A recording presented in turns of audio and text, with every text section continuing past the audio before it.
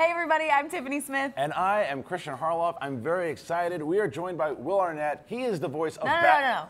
I'm just gonna correct you and say What? he is Batman. He is the Batman, one of the uh, uh, a talented actor who is playing Batman once again in Lego, the Batman movie. Will, thank you for joining us. Thank you very much for having letting me come in here. it's so nice and cool in here. here. is very So far, this is my favorite place uh, at Comic Con. This room. See, we get We that. Because are of- because of the air It conditioning. has nothing to do with Come us. on, just like Well, just, we just just let met. us We'll- take let's, some of the well, credit. let's see how it goes, and then well, I'll say after. Yeah, well, we do have the air conditioning, so that's true. Yeah, I would say Fandango Studio, we win. Yeah. We'll just leave it at that. Yeah. you don't need to explain. That's No. it. Yeah. Um, what I love so much, obviously, is just hearing you talk. Your register is so low. It's kind of perfect for Batman. And I've gotten to talk to some other actors who voiced Batman, like Kevin Conroy, and they always have to be really serious when they're doing the character. But you get to have a lot of fun with this character. Yeah, it's my it's it's my favorite thing to do. I, I think it's because all the other guys have been so serious over the years Right. that you know it's kind of unfair. I get to just goof around, and um, and it kind of works. Like we we found a great sort of balance and, and a great sweet spot with with Batman in the first Lego movie. Yeah. So it's a real advantage advantage for me to be able to do that. Well, you mentioned the first Lego movie. Was there any time when you were voicing the character of Batman, you said, you know what, I could see this kind of standing alone as a standalone movie? I'm a dumb guy, so I did. let me just start there. I did not see that happening. So when they told me, you know, we found out um, the day that the Lego Movie opened and it was kind of doing well and everybody's all excited and they were like, "Hey, we're gonna make a."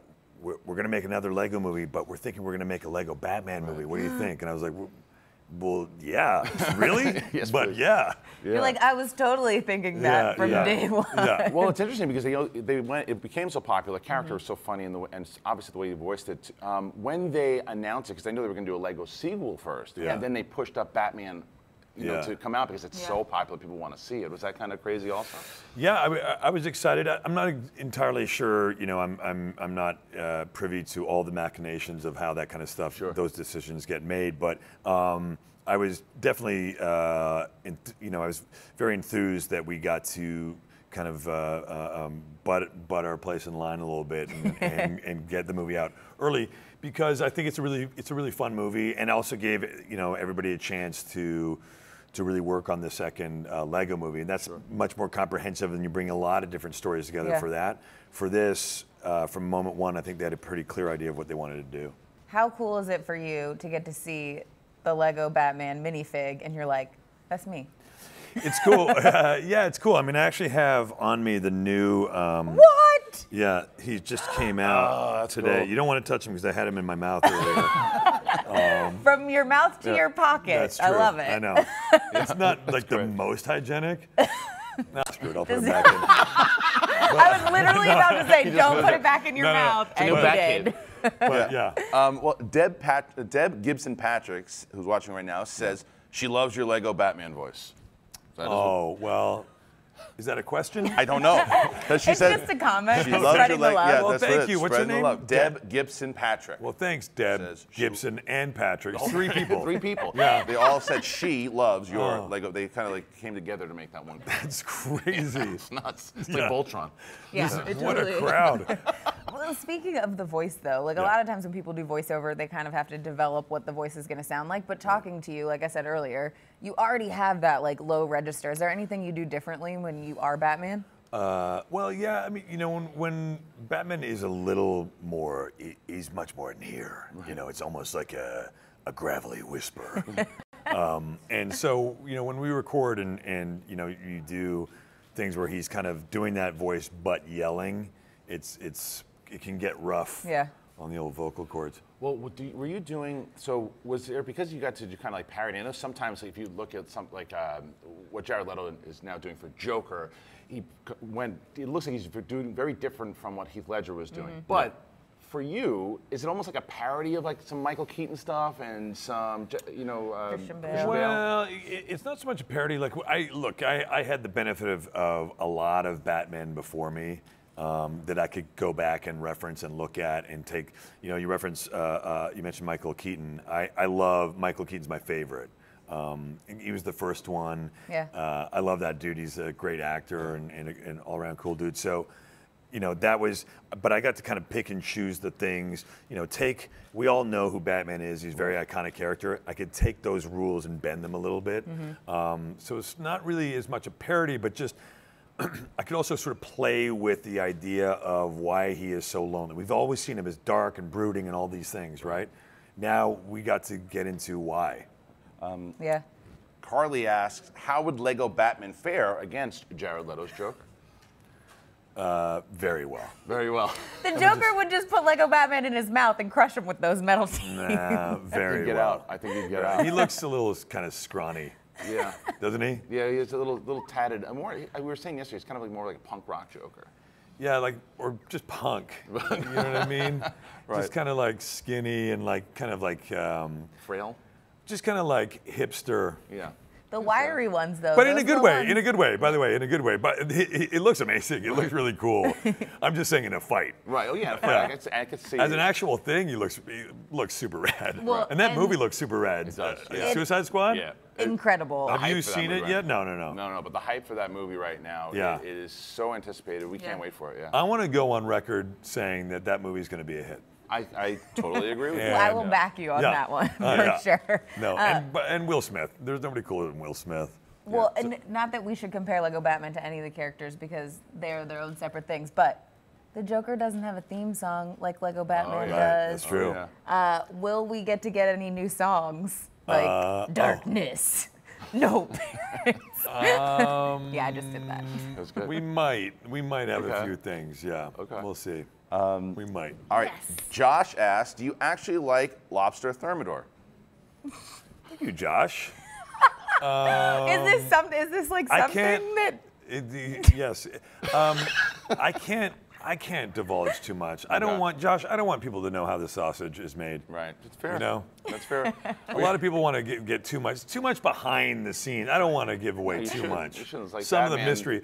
You'll, Josh, you'll never know if I like lobster thermidor, unless you go for dinner with me and there's lobster thermidor, only lobster thermidor on the menu, and then you'll have to you'll see me make a decision. Well, speaking of make you Yep. making you make decisions, Yeah. we've got a little game we want to play with you. Okay. Would you rather? Oh man, We're gonna we go, go. through this these. game is never good for me. But okay, go ahead Would you rather have lobster thermidor with Josh. or have lobster thermidor? right. oh boy, you're really pinning me in a corner. all right, all right, we'll do a real one. Uh, would you rather have a face like a pumpkin or a body like a tennis racket? Great question. Um, would I rather? This is the question I've been avoiding my entire career. Would You I know? rather have They a just they recently took it off the SATs. face like a pumpkin Or a body or like a a, tennis body racket? like a tennis racket? I'm gonna say face like a pumpkin, I guess. Okay. Then Any reason? Don't act Commit like to I'm that crazy. They're both crazy. Don't like, okay, went with the pumpkin Yeah. face. That's the one. Man, that's, That's the nuts. You could get roles in movies because there's a lot of horror films with, With pumpkin, pumpkin heads. heads. That's right. Yeah. And then I There get to you keep a regular body. is my point. If Yeah. you're a Functioning body. If you just If I'm a tennis racket, that's bizarre. I'm not quite sure where the head, where your head goes on the tennis racket, honestly. right. but- And where is all the re- everything else? It's A good mix. If you're just tuning in, we're here with Will Arnett. We're playing uh, Would You Rather, and I have one right now. Okay. Would you rather? We're doing another head question. Have I have a grapefruit-sized head? Sure. Or have a watermelon-sized head? But I'm going to give you a why. Why? Whatever your answer is.